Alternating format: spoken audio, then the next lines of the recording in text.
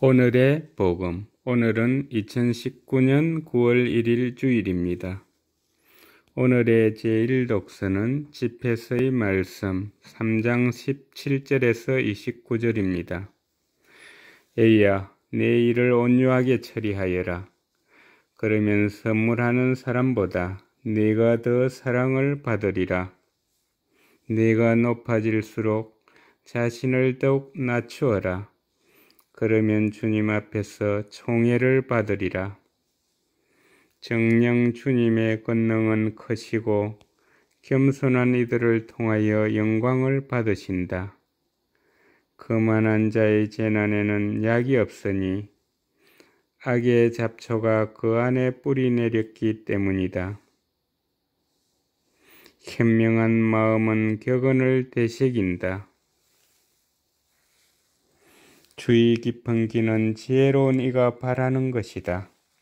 주님의 말씀입니다. 오늘의 제2독서는 히브리서의 말씀 12장 18절에서 24절입니다.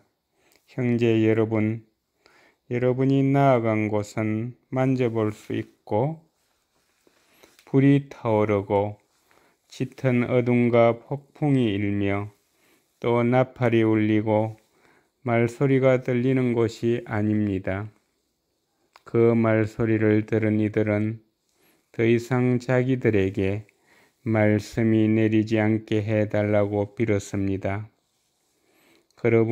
그러나 여러분이 나아간 곳은 시온산이고 살아계신 하느님의 도성이며 천상 예루살렘으로 무수한 천사들의 축제 집회와 하늘에 등록된 맏 아들들의 모임이 이루어지는 곳입니다. 또 모든 사람의 심판자 하느님께서 계시고 완전하게 된 의인들의 영이 있고 새 계약의 중개자 예수님께서 계십니다. 주님의 말씀입니다. 오늘의 복음은 루카가 전한 거룩한 복음 14장 1절에서 14절입니다. 예수님께서 어느 안식일에 바리사이들의 지도자 가운데 한 사람의 집에 가시어 음식을 잡수실 때 일이다. 그들이 예수님을 지켜보고 있었다. 예수님께서는 초대받은 이들이 윗자리를 고르는 모습을 바라보시며 그들에게 비유를 말씀하셨다. 누가 너를 혼인잔치에 초대하거든 윗자리에 앉지 마라. 너보다 귀한 이가 초대를 받았을 경우 너와 그 사람을 초대한 이가 너에게 왔어 이분에게 자리를 내드리게 할지도 모른다. 그러면 너는 부끄러워하며 끝자리로 물러앉게 될 것이다. 초대를 받거든 끝자리에 가서 앉아라. 그러면 너를 초대한 이가 너에게 왔어 여복에 더 앞자리로 올라앉게 할 것이다. 그때 너는 함께 앉아 있는 모든 사람 앞에서 영광스럽게 될 것이다. 누구든지 자신을 높이는 이는 낮아지고 자신을 낮추는 이는 높아질 것이다. 예수님께서는 당신을 초대한 이에게도 말씀하셨다. 네가 점심이나 저녁 식사를 베풀 때 내 친구나 형제나 친척이나 부유한 이웃을 부르지 마라. 그러면 그들도 다시 너를 초대하여 네가 부답을 받게 된다.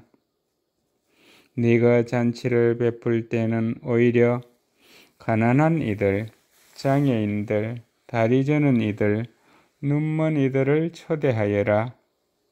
그들이 내게 보답할 수 없기 때문에 너는 행복할 것이다. 의인들이 부활할 때 내가 보답을 받을 것이다. 주님의 말씀입니다.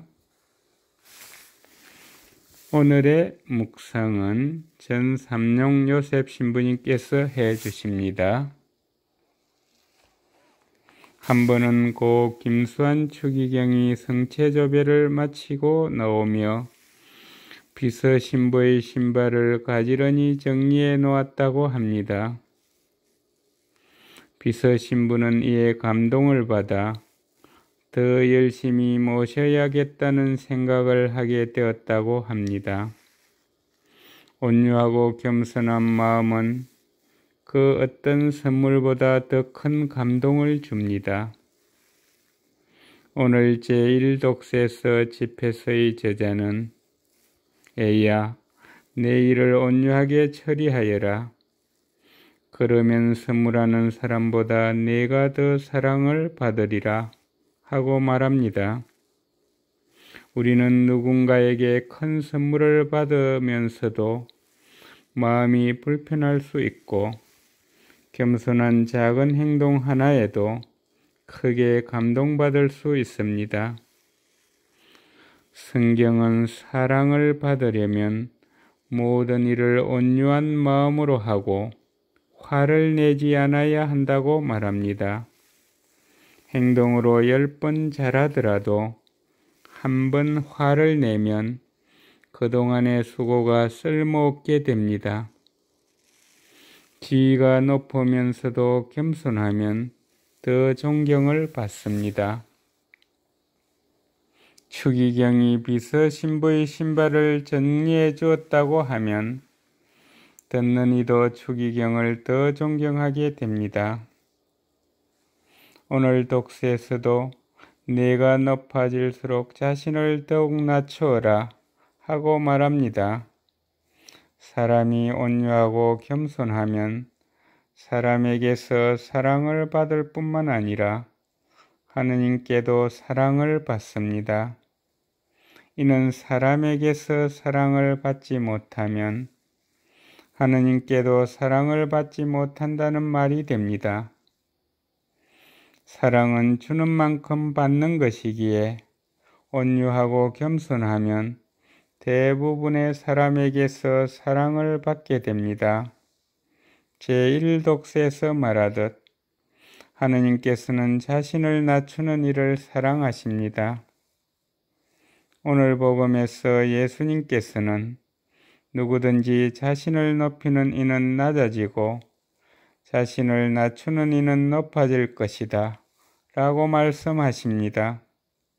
그래서 늘 끝자리에 앉으라고 충고하십니다. 그러면 이웃이 높아집니다. 이것이 선물입니다.